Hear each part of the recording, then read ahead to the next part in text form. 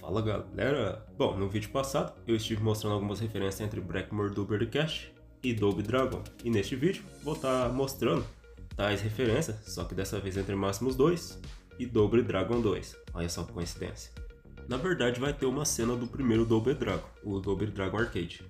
Até então, o maior referencial que eu achava que Máximos 2 tinha pegado era o Golden Ash Rei, de Mega Drive, mas não é, eu acho que não é bem assim não.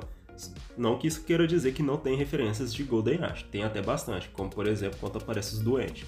Porém, acredito que tem muito mais inspiração com Double Dragon 2. Bom, eu também vou estar deixando na descrição do vídeo o link de ambos os vídeos que eu estive pegando as cenas para estar fazendo a gravação, para estar comparando as imagens. Fechou? Dito isso, bora para o vídeo. Essa primeira referência é quando você está chegando perto da Rainha Dragão em Máximos 2, né? E em Double Dragon 2 também é próximo do último chefe. E em ambos os jogos você tem que ter um time bom para estar passando sem tomar dano. O World of Song Spray usou até um grit aí para estar passando.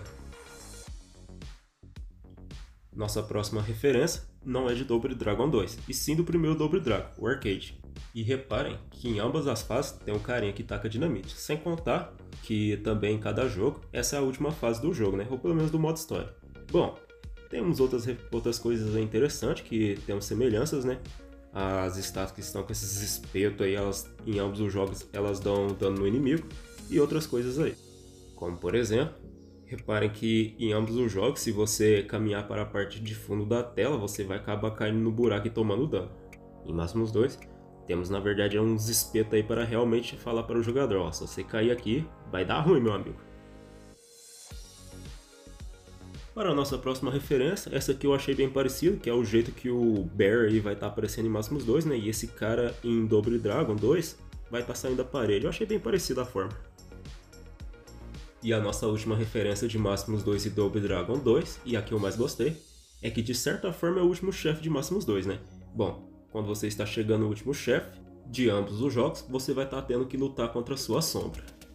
A única dúvida que fica é qual jogo é mais difícil de você estar derrotando sua sombra.